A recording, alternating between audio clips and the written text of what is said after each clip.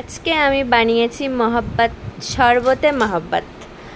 এখানে শরবতে মহাব্বাত বানানোর জন্য আমি হাফ লিটার দুধ নিয়ে নিচ্ছি। এটা এক লিটারের ছিল আর এটা ঠান্ডাই দুধ, কোনো গরম করারই দরকার নেই।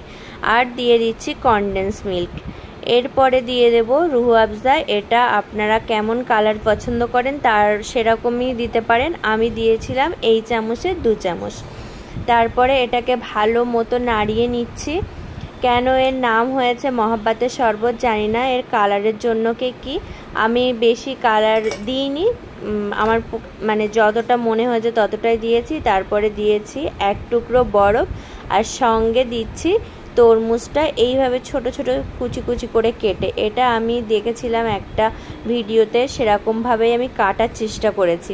ওরকম পারিনি, কিন্তু চেষ্টা করেছি। এরপরে পুরো তরমুজটা ওর ভিতরে দিয়ে ভালো করে নাড়িয়ে এটা তোমরা সঙ্গে সঙ্গে সার্ভ করতে পারো। আবার কিছুক্ষণ ফ্রিজে রেখেও সার্ভ করতে পারো। এর সঙ্গে একটু কুচো বরফও দিয়ে দিতে পারো। আমি বরফ দিইনি, কারণ আমাদের ঠান্ডার প্রবলেম আছে, সেই জন্য। টাটা!